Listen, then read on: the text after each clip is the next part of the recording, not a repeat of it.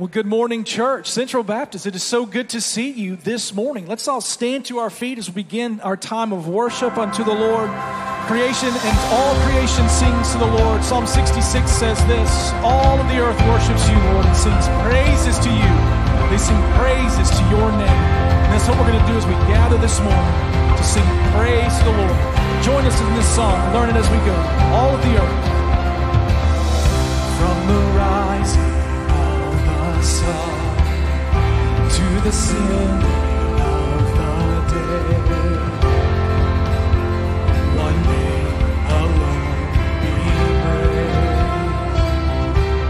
All creation, every nation,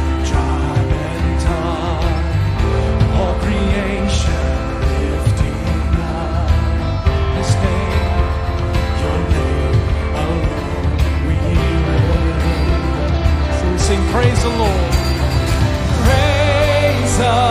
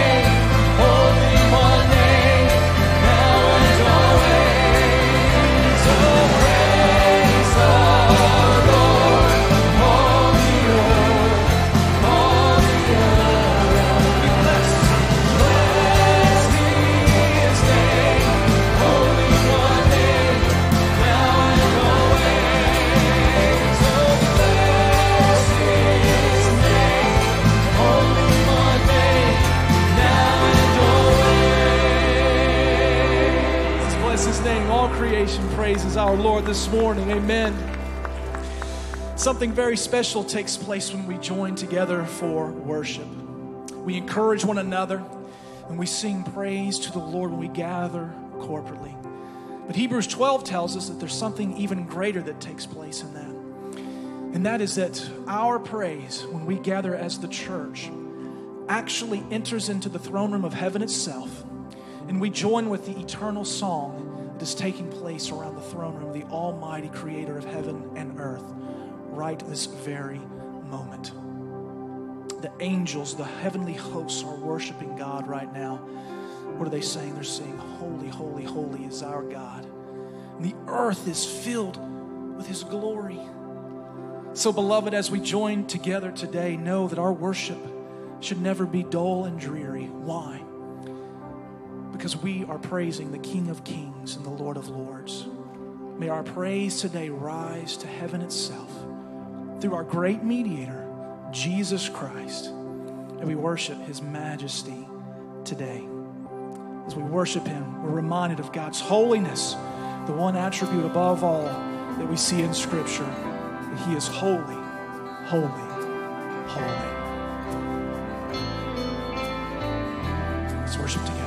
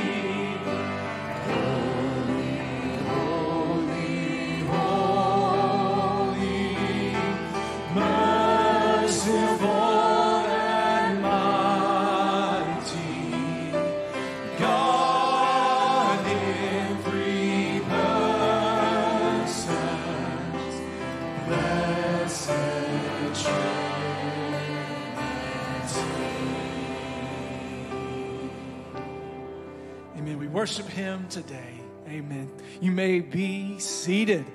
Well, our God is holy. Amen. He is worthy of our praise. And we are so privileged to be able to join and worship him together. Amen. Amen. As we join together. What a privilege. It is so good to see you. We have resumed our Sunday life groups today. Praise the Lord. Amen. Let's, let's rejoice. Hallelujah. We had uh, a, an incredible and worshipful first service today. So many people, and they've all now gone to life group because that's what we do now. Hopefully, all of you were in life groups before this. We're so grateful that you are here today. I'll take a couple of minutes just to let you know about what's taking place. And so, first off, if you are a guest of ours today, maybe it's your first time. You know, we have had so many people come and visit Central for the first time over these months uh, of what's been going on in our world. So we're so thankful. Maybe you are here for the first time today. We welcome you in the name of Jesus our Lord, and we rejoice in knowing that you are here today. Uh, we just ask maybe just one thing of you. We would just love to know that you are here with us today. And the way to do that, uh, we normally would have a fill out card for you. But since we're refraining from doing that during this time, we can do that digitally. Uh, you see on the screen there, there is a phone number. We would love for you to just take your mobile device out and maybe text message this number. You text the word hello to 478 221 9030. Did I get that right? I did. The prescription's still good, y'all glasses. All right, so, but text that number there. You'll just receive a text message back uh, that simply says, Welcome to Central Baptist Church. Uh, I think there's a picture of Pastor Stephen in that. I'm just kidding. I'm just kidding. No headshot, but it just simply says, Welcome. We would love to know how we can pray for you, minister to you, and also let you know about what's taking place here at Central.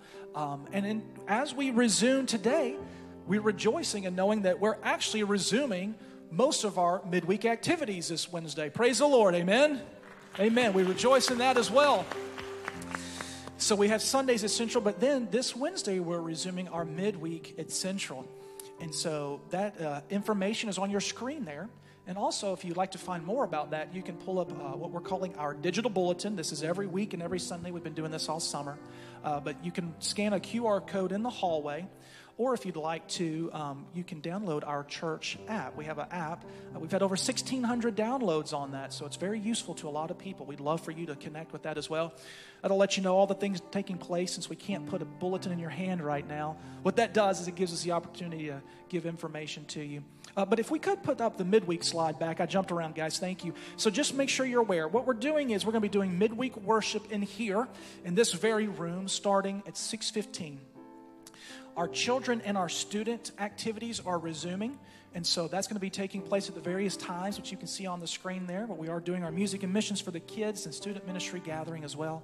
Our worship ministry and the choir and orchestra is going to be resuming. Really, the main thing that we're not doing right now, we're just going to wait a little while longer until we resume it. That's our midweek meal. So we would normally launch with fried chicken, I think. Uh, and so please come. We won't have fried chicken for you, but know that we will again one day soon we will one day have that again soon. So it's going to be a great week here uh, on Wednesday night. And we're so thankful that you would be here uh, with us today. So as we continue in worship, I invite you to uh, go with me to the Lord in prayer now as we uh, pause before Him and go before the Lord. Our gracious Heavenly Father, Lord, through through many difficult times, turmoils, all of the things that we have gone through. Lord, we recognize and we rejoice and we rest in all that you have done to sustain us, to provide for us, and Father, to keep us. We thank you for your safety and your provision through the months that we have walked through, Father. And we thank you for this day, Father, the day that we are resuming some of our normal activities. We give you thanks. And Father, we continue to ask for your continued hand of protection and of safety as we gather together. Father, it is so good to be in your house with your people. And Father, I hope that everybody on this campus today feels that same way, Father.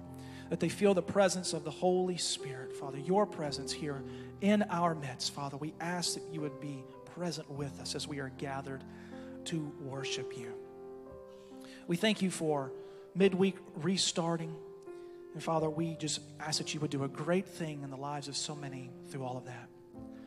Lord, we lift up those in our church who are hurting right now, those who need healing, Father, those who are dealing with uh, and helping a, an ill loved one, maybe those who have recently lost a loved one through this tragic time.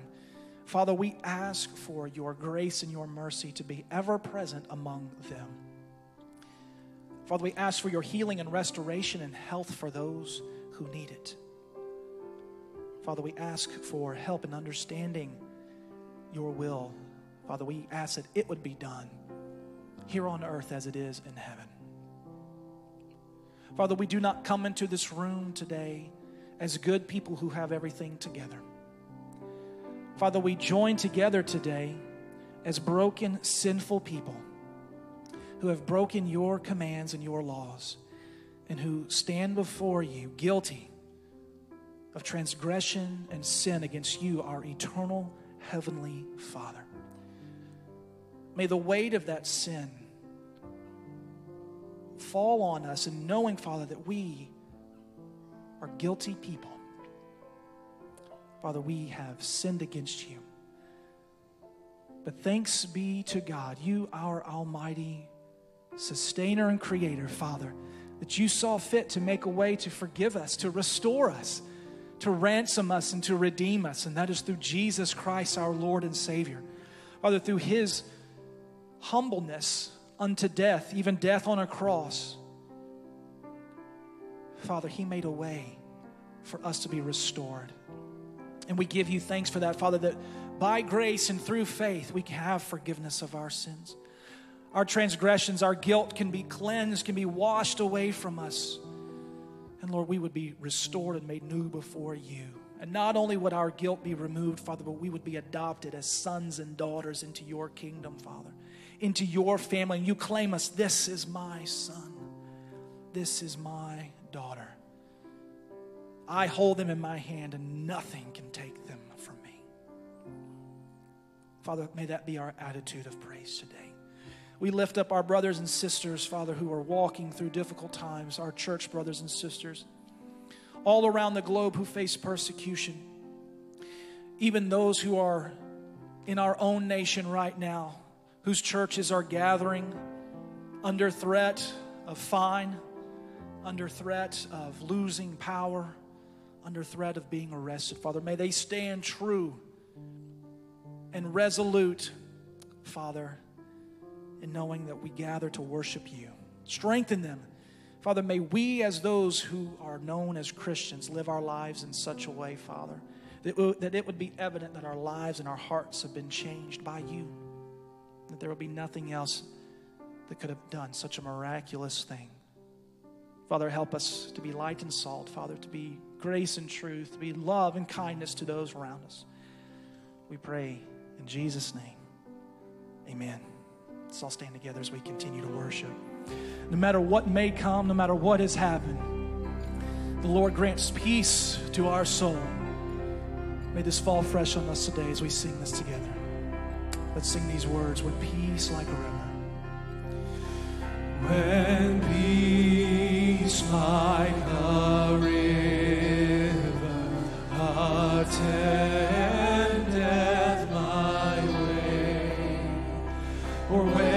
when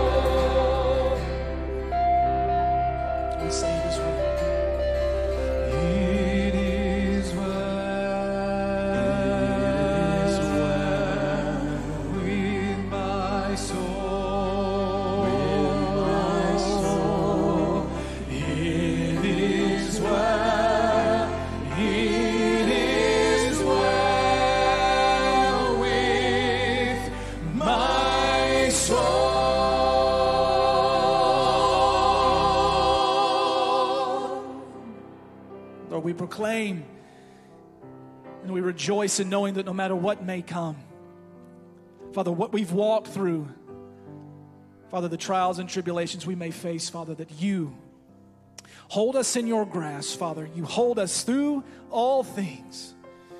And Father, we can proclaim that no matter what may come, that through Jesus Christ, our Savior and our Lord, that it is well with our souls. Father, we thank you for the truth of your word that we can hold on to. Father, speak to us through your word. May it be opened in such a way, Father, that our hearts would be stirred towards faith and affection towards you. Father, strengthen, gird our pastor, Father, in these times, that he would continue to speak truth boldly through the word. Father, that we may be challenged by it and grow through it. We love you, Lord. We love you. In Jesus' name we pray. Amen. Amen. Please be seated.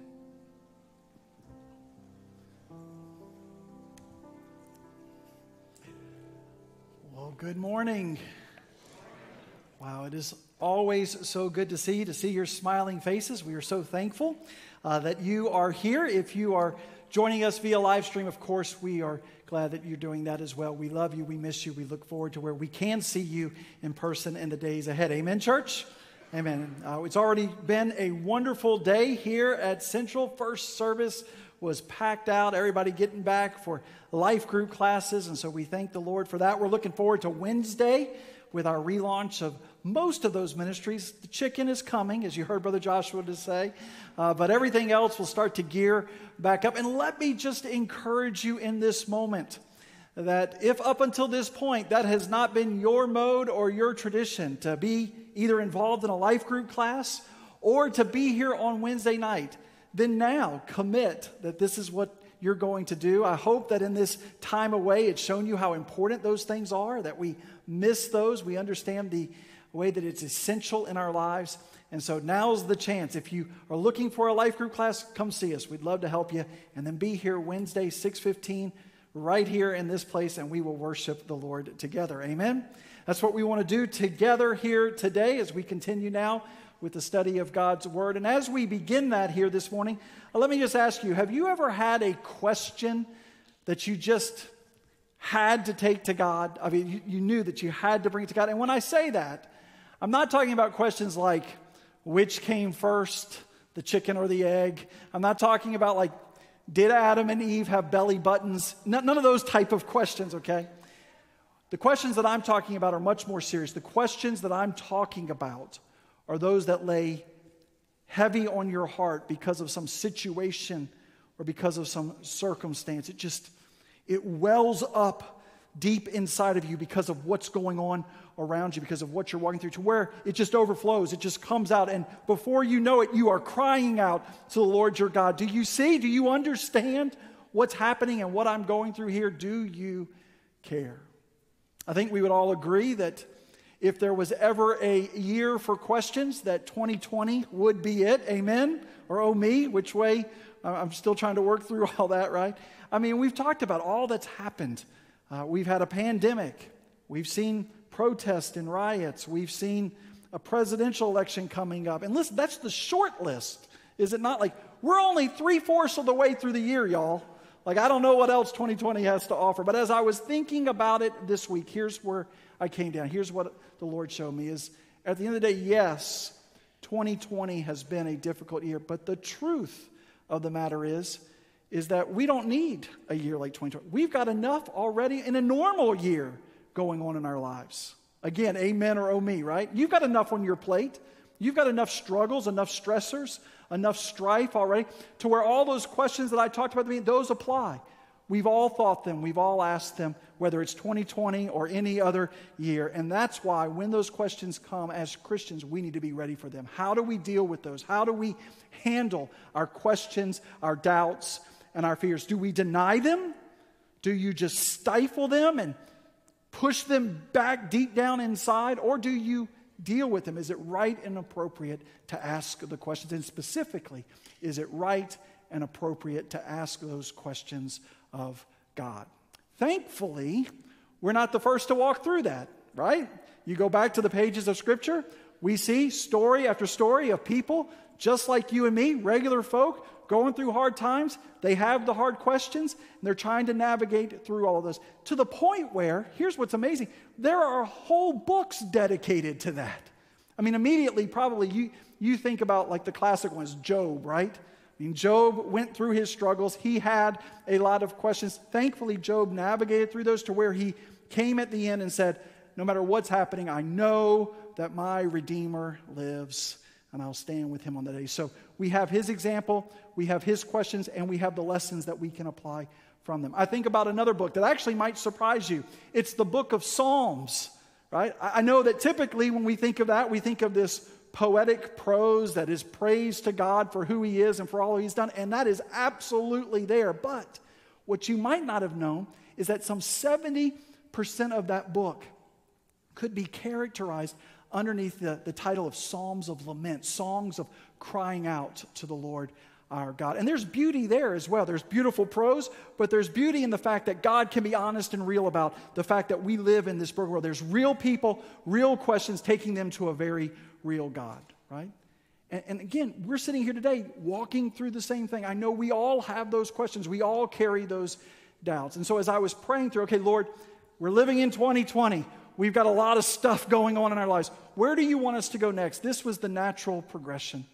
And as I started to look through all those books, I looked at Job, which we'll cover eventually. We looked at the Psalms, we do those periodically and walk through that.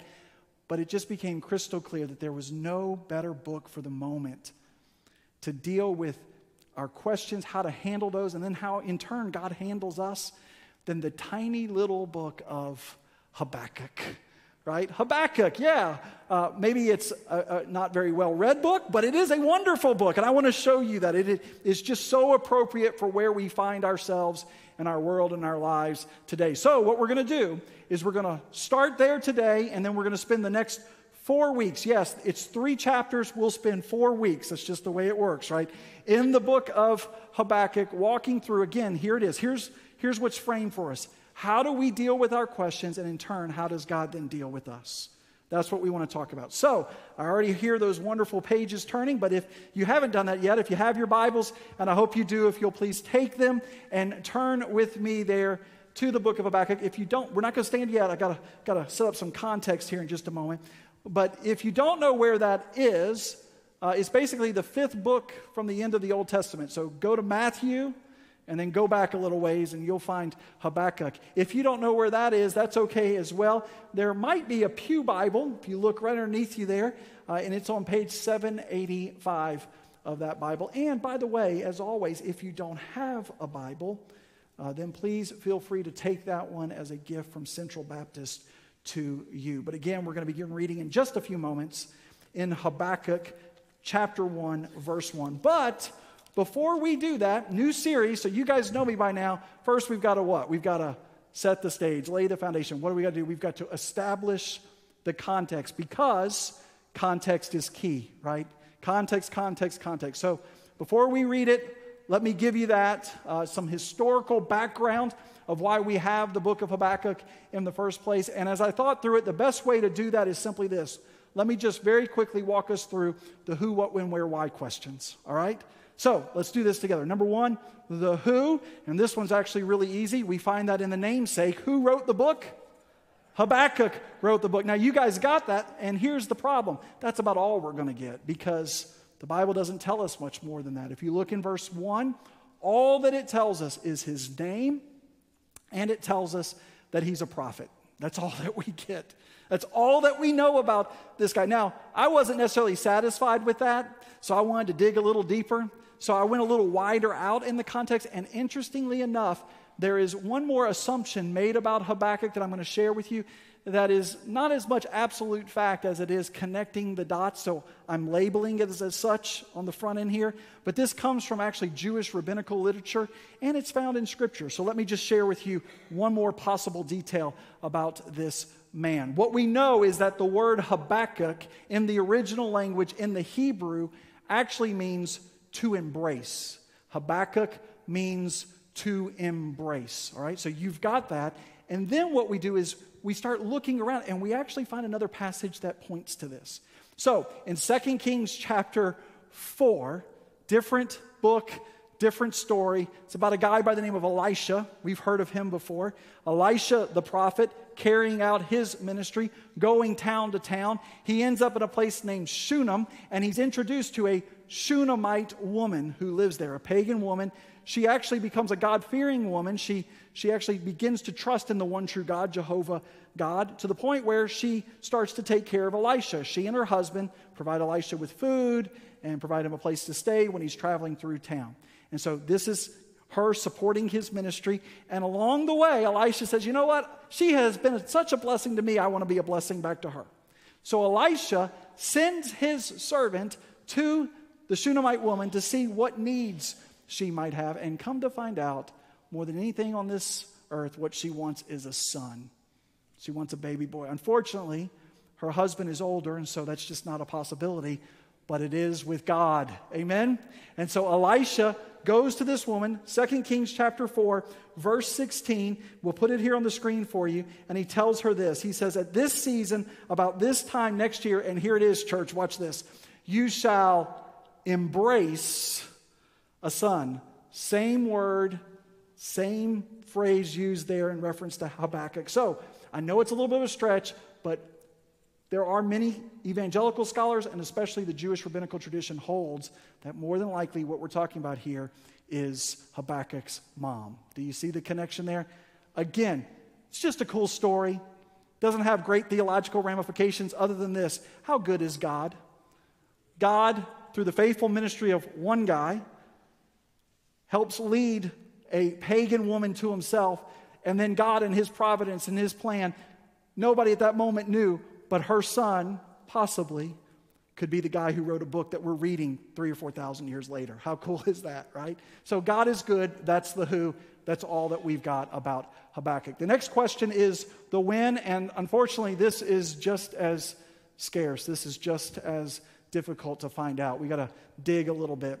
Uh, we have a few clues in our text. If you look in verse 6 of chapter 1, uh, you'll see there it talks about the Chaldeans. So historians can take that and kind of fit that into when those folks were around. And basically, at the end of it all, here's the pieces. What they conclude is that Habakkuk, more than likely, was ministering at a time after the fall of Nineveh. You've heard that before. That's the, the old Assyrians when they were world powers. They stopped being a world power in 612 BC. It would have been after that, but before the rise of the next world power, which would have been the Babylonians under King Nebuchadnezzar in 605 BC. So if you put it all together, what they're guessing is that more than likely Habakkuk ministered at about 607 BC before the birth of Christ, right? So that's the wider context. The immediate context in the Bible tells us that that is true. Then he also ministered, and you see it here, during the reign of King Jehoiakim, right? And what you need to know about King Jehoiakim is simply this is he wasn't a good king. He was a bad king. He was a wicked dude. As a matter of fact, next verse, we'll put it here on the screen, tells us that he reigned and lived and he did what was evil in the sight of the Lord, which I know doesn't necessarily mean a whole bunch to us until, watch what happens here. Put it in context. What we know, we've got the Babylonians in power. They had just come out of the Assyrians who mistreated the Israelites. Now the Babylonians are there. The Chaldeans are knocking on the doorstep. You've got all of this international strife taking place.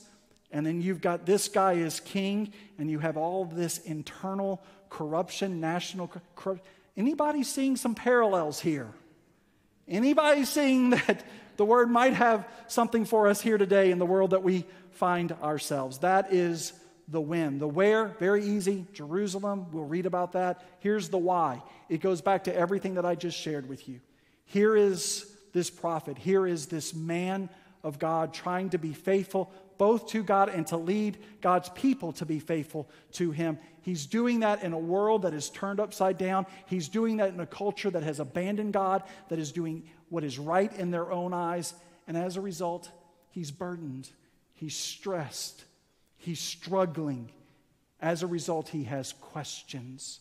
And that's what the book of Habakkuk is it is simply a conversation between this man and between God. It is a private discussion, a private dialogue. We are privy to his private prayer journal, so to speak. That's what you're holding there in your hands. And that actually makes this book unique.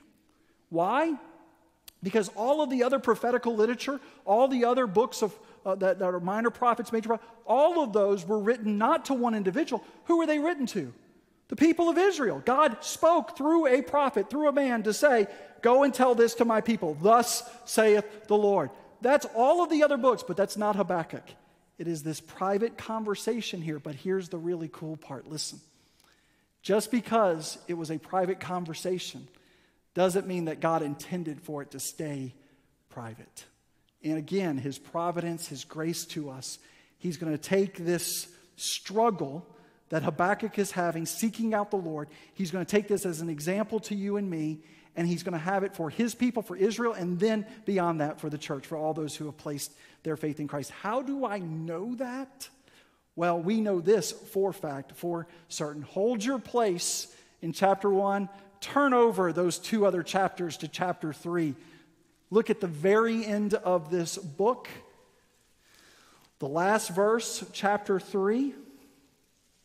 What does it say there? It says, To the choir master with stringed instruments, right? In other words, what he's saying there is this I'm giving you this conversation that is to be read publicly, specifically for public worship. Are you with me? Which at the end is the whole point of this book. I'll go ahead and tell it to you now. You kind of get that before we even get, get into it. The whole point of this book is to say, hey, look at Habakkuk, this guy who has questions, and we're no different. Every single one of us have questions too. And the ultimate issue is this not that you have questions, the ultimate issue is what do you do with those questions? And if handled incorrectly, improperly, those questions can hurt. Those questions can drive you away from God. But if handled correctly, properly, the way God would have us to handle those questions, then what He knows is that they can lead us. Even our doubts can lead us to the worship of the Lord our God, which is, I know, our heart here this morning. Amen? It's why we're here. We desire to worship Him even with our questions, even with our doubts. And so that's what I want us to walk through here today. I want to show you both sides of this, both how we handle our questions, both how we deal with them, and then in turn, how God responds, how He deals with us. That'll be our outline for this morning. You with me? So now let's dive in. We're not going to stand. I see Brother Rick is ready, he's working on it. But I do want to dive in, and we're going to get to our text in just a moment. So here's number one is what do we do with our doubts? What do we do with our questions? And I've thought about it all week, and I think I've narrowed it down to three possibilities, three options, or three doors, so to speak, that we can walk through, all right? Very simply, let me lay these out for us. What, you, what can you do? Number one, you could do nothing at all. You could pretend that you don't have questions. I'm not sure if you're aware of this or not, but there's actually a stream that exists in evangelical thought that goes along with this that says you shouldn't have questions. If you are following God, if, if you have faith, well, then you won't have doubt. And if you have doubt, well, then you don't have faith, and that's sin, so don't have questions. It's a little extreme, but that's option one. A more moderate view is option two. And that view says, hey, yeah, we have questions, but you shouldn't press those questions. I mean, it's still God. You ought to trust, even if it is blind faith you just don't need to press those too hard. So basically, it's the whole idea of just let go, let God. You've heard that before, right? That's option number two. Or there's option number three. And option number three is simply this you can be honest with God. You can go to God and you can tell him exactly what you're thinking, exactly what you're feeling, because after all, he knows that anyway. And so you can go to him with whatever you got on your heart and you can lay it out or you can let the questions fly. Are you with me?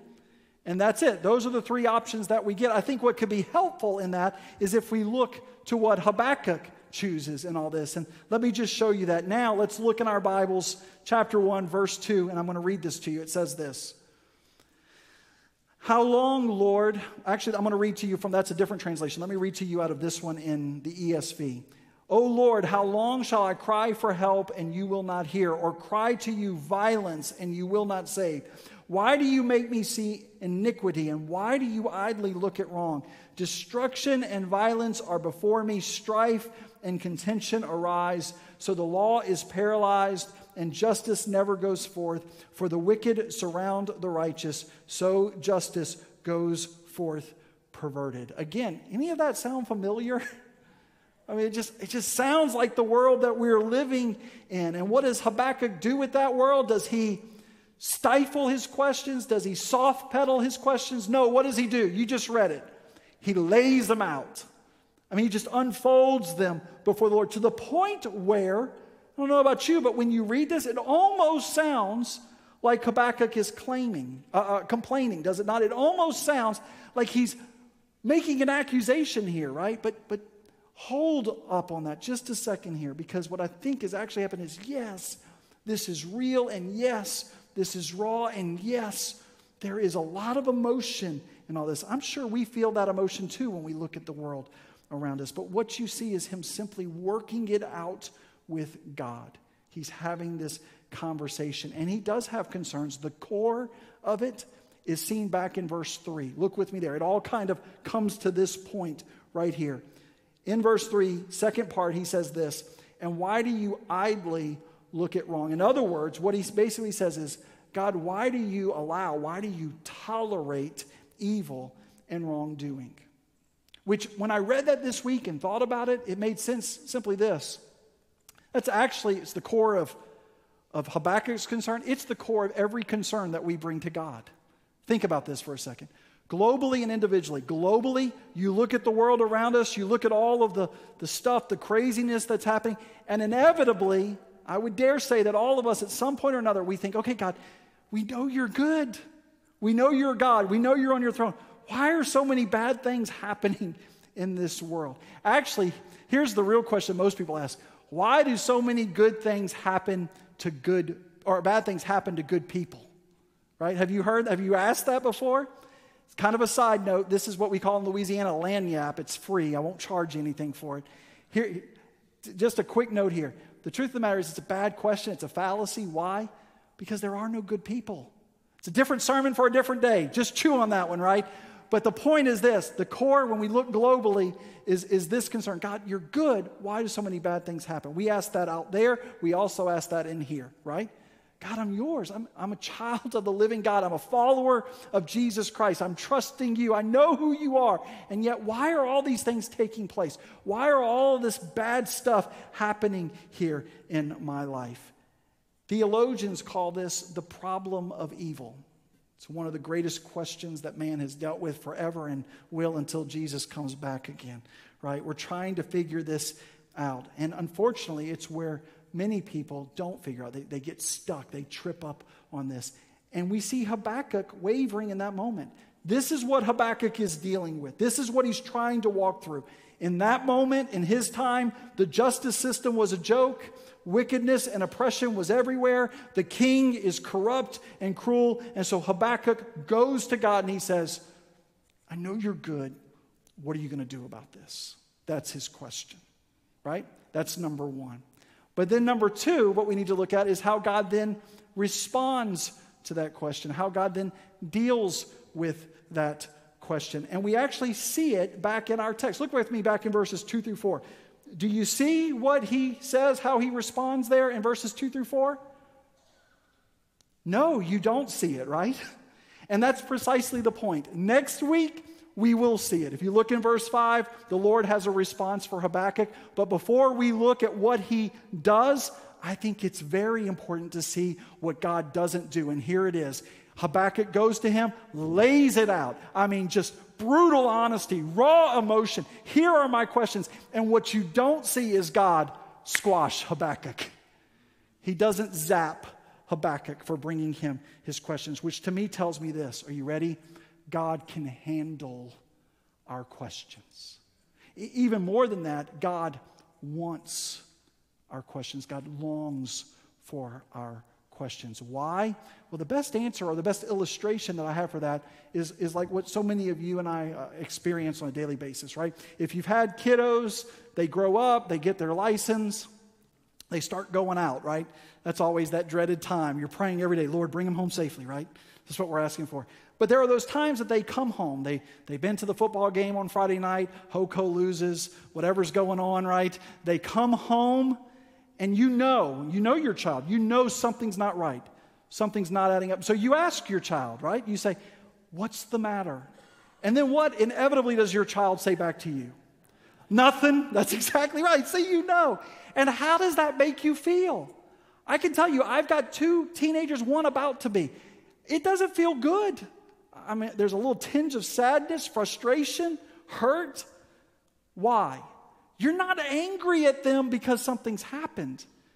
You just desperately want to meet them in what's happened. You want to, to, to help them in what's happened. I'm here to tell you this morning the same thing is true in reference to God. God wants us as His children to come to Him when things are great and life is good and we're happy, and He also wants us to come to Him when things aren't so great and they're bad and they're broken. Are you with me? And, and He can handle it. As a matter of fact, here's, here's the truth of the matter He wants to handle it.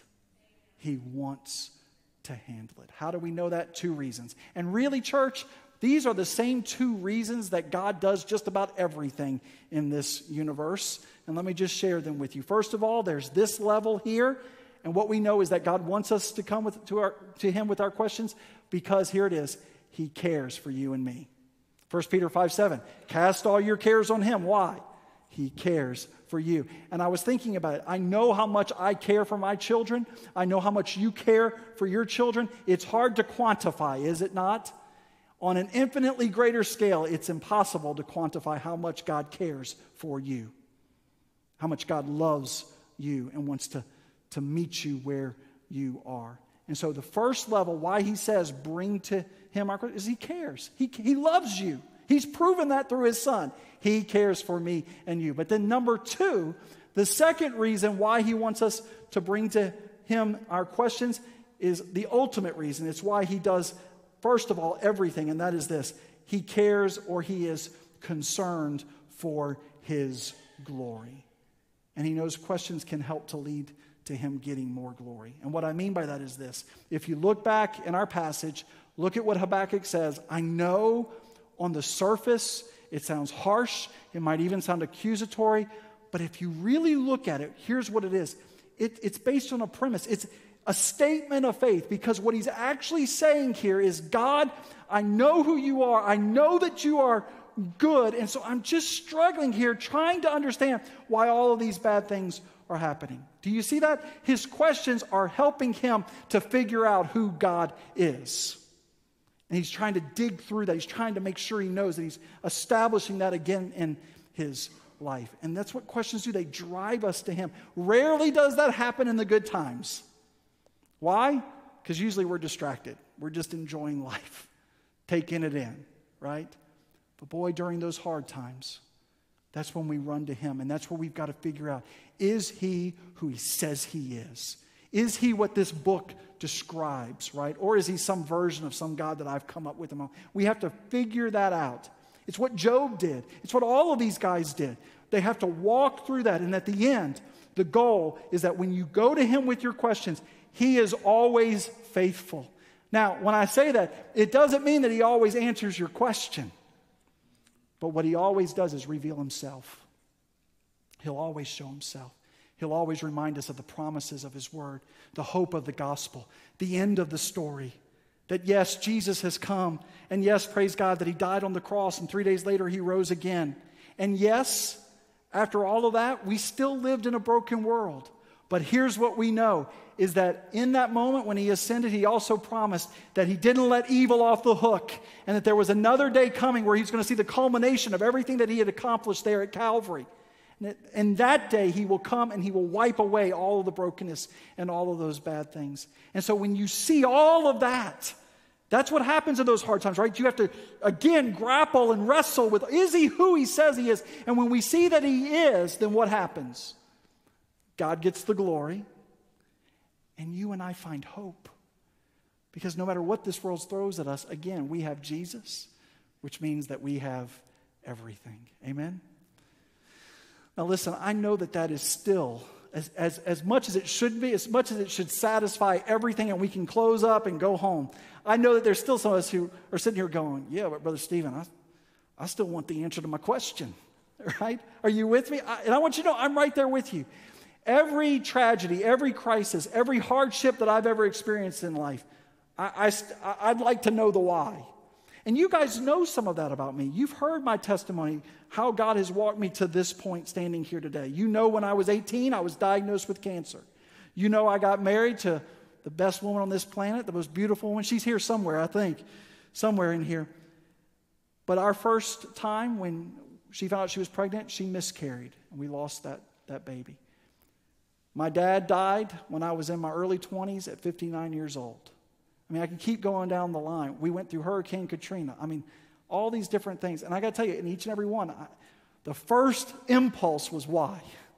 I know you are God, and I know you are good, and I know you are all powerful, and I know you can think the thought, and any of this goes away. So, why, God? Why does this happen? I remember vividly as a 19 year old young guy getting that diagnosis of cancer, being told that I had two to three years to live, trying to figure that out. God, I know you saved me, I know you called me to serve you, and now that you're allowing this, I don't understand it. And I remember call well, actually, I remember telling my dad, and my dad called, made an appointment with my preacher. He He's a good country boy from Tupelo, Mississippi. His name was Buford. I love Brother Buford. But he made this appointment, and I went into my pastor's office and I sat there, and I had been pouring my heart out to God, but I poured my heart out to him. And at the end of it all, the real point was I just wanted to know why. Tell me why. I just why. And he said, Listen, you know, it's just very simple. You're not going to be told all those answers on this side of eternity. And I remember saying to him, Fine, when I get to heaven, the very first question that I'm going to ask Jesus is why. And I will never forget my pastor with that country drawl and that big smile on his face, he said, No, you're not. No, you're not. Because when you see Jesus, none of that will matter. None of it will matter. And I got to tell you, in that moment, I hated that answer. I knew he was right, but I still wanted to know why. And I kept down that road for a very long time. Not even denying that I'm still on that road a little bit here. But I remember that God was faithful and He kept using my church family, my parents, my pastor, friends, just to pour that into me. And then, in just the wonderful providence of God, I remember standing in a used Christian bookstore in Springfield, Missouri.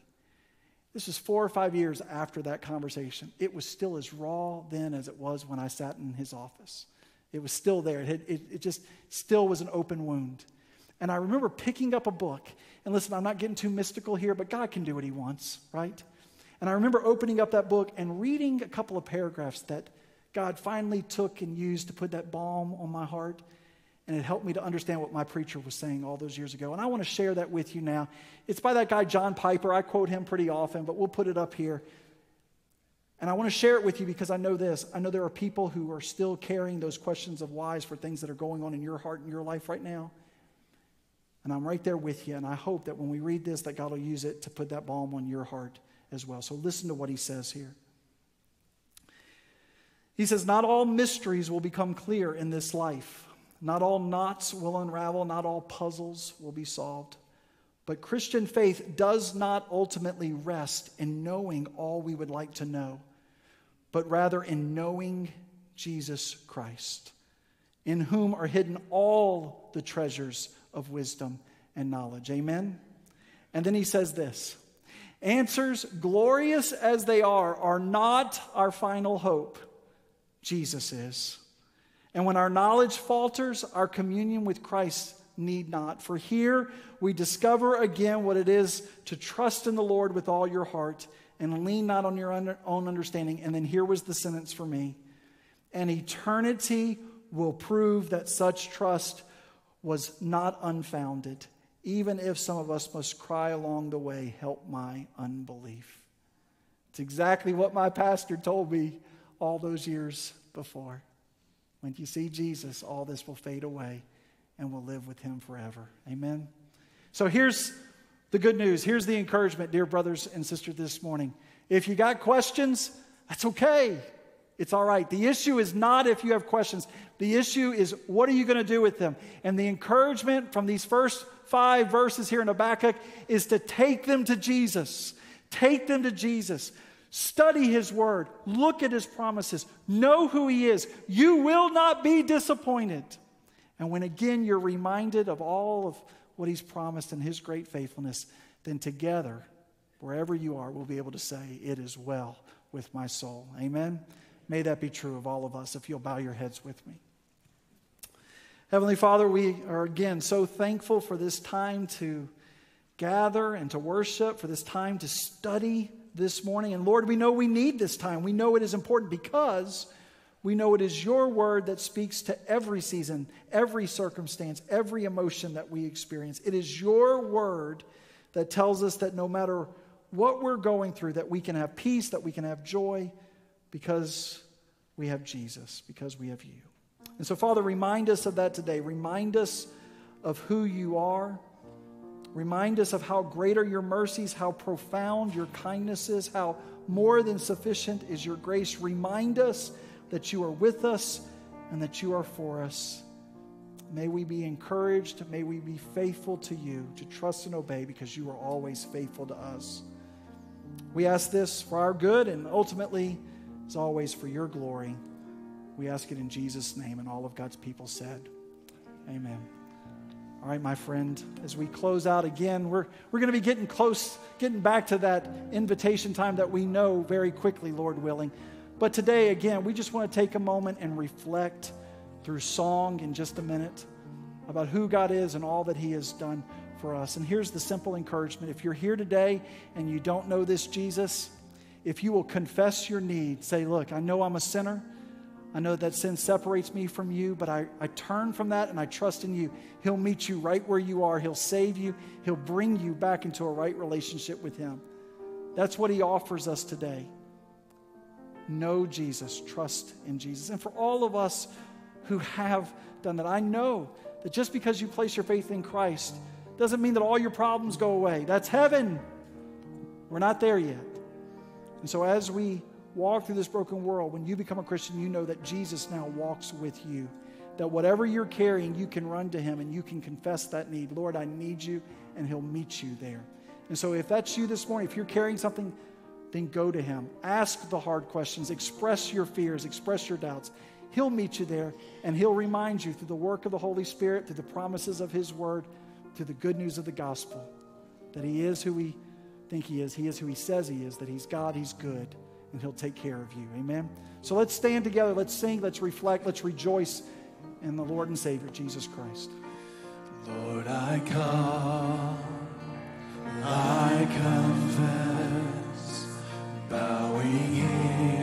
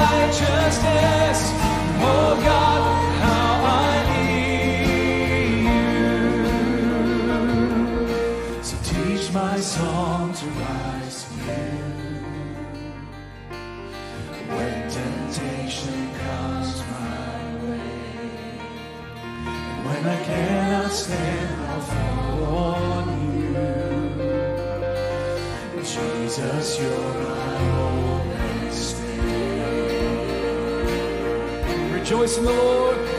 Oh Lord, I